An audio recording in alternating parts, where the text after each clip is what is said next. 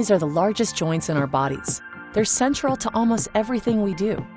So if you or a loved one is suffering from arthritis or an injury to the knee, the resulting pain, stiffness, and swelling can feel debilitating. But you're not alone.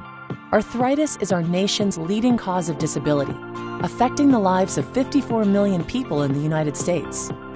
Treatment of knee pain depends on the location and severity of the arthritis. There are three components of the knee the inside or medial compartment, the outside or lateral compartment, and the kneecap, also known as the patellofemoral compartment or patella. If all three compartments of the knee are diseased, a total knee replacement may be recommended by a doctor. However, if someone is diagnosed with early to mid stage arthritis, where only one or two compartments are diseased, a partial knee replacement may be recommended by a doctor. Partial knee replacement allows surgeons to replace only the arthritic compartment of the knee, which may help minimize trauma to the healthy bone, tissue, and ligaments that surround the knee. Today, this surgical technique is being combined with a new technology, and it's changing the way knee pain sufferers receive care. Meet Mako, a robotic arm assisted technology used by surgeons to perform partial knee replacements. This unique technology helps surgeons provide patients with a personalized surgical experience, where each surgical plan is based on the patient's specific diagnosis and anatomy. In a clinical study, patients who had a Mako partial knee procedure experienced less pain in the days and weeks following their surgery than those who had a non robotic assisted procedure. And a Mako partial knee procedure helps provide more accurate placement of the implant, which may result in improved outcomes and functioning of the knee.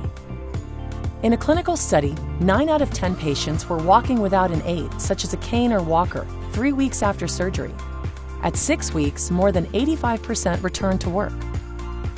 And five years after surgery, 91% of patients were either very satisfied or satisfied with their knees. Let's take a look at how the technology works. It begins with a CT scan of the knee joint. A CT scan is a series of x rays taken at different angles that can help surgeons see things that they can't typically see with an x ray alone. The CT scan data is used to generate a 3D virtual model of the patient's unique anatomy. This virtual model is loaded into the Mako system software and is used to create the personalized preoperative plan. Prior to surgery, the surgeon reviews the plan size and placement of the implant. If necessary, the surgeon modifies the preoperative plan. During surgery, the surgeon locates points on the knee in order to register the anatomy in the Mako system. This process establishes the relationship between the patient's actual anatomy in the operating room and the 3D model that was used during the planning process. This step helps ensure the procedure is executed to plan.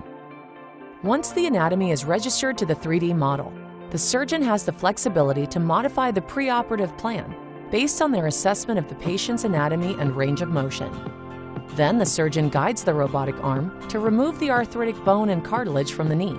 A virtual boundary provides tactile resistance to prevent the surgeon from removing more than just the arthritic bone identified in the preoperative plan.